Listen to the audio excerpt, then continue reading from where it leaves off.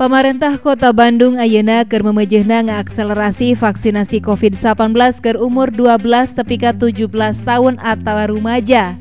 Vaksin anu dipakena nyaeta Sinovac anu kawentar di papaesan ku kejadian ikutan pasca imunisasi atau KIPI rendah. Najan gitu, rumaja umur 12 tepi ka 17 tahun anu bakal divaksin kudu leuwih nalingakeun kasehatan awakna. Kepala UPT Puskesmas Pagarsih Dr. Trisiana Irawati ngeceskeun masyarakat utamana kaum rumaja anu bakal divaksin kudu dina kaayaan sehat. Eta hal teh bisa oge kapanggih nalika perak-perakan screening. Sehat secara jasmani turta rohani.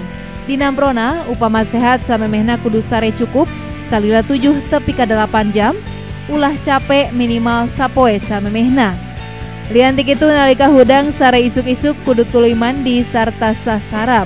Samalah ulah tepika loba pikiran utamana teka pangaruhan ku hoax anu sumebar ngenaan vaksin. Ngadua sangkan tenang nalika ngadago giliran vaksin ulah mikiran hal-hal anu negatif. Pangna kitu warta bohong atau hoax remen nguniangkeun kalawang. Nalika nepi di lokasi vaksinasi diperdih sangkan tuhu kana aturan anu dilarapkeun luyu kana sesi anu dipilih. Eta hal teh dilakonan keur nyingla ririungan atawa antayan warga anu divaksin. Anu pang pentingna nalika proses screening kudu ngajawab kalawan jujur patali jeung kaayaan kasehatanana. Kawas boga riwayat alergi, penyakit darah, jantung atau asma. Kudu bebeja ka dokter tianggal namula upama kergering kawas batuk, pilek atau diare, kudu nyarita kalawan jujur lantaran eta halte salah sahiji gejala suspek COVID-19. Trisiana nandeskeun ayana rumaja umur 12 tepi ka 17 tahun anu satu tas divaksin langsung laleles atau pingsan eta kasus teh lain alatan vaksin Sinovac anu disuntikkeunana tapi bisa jadi eta rumaja memang remen pingsan.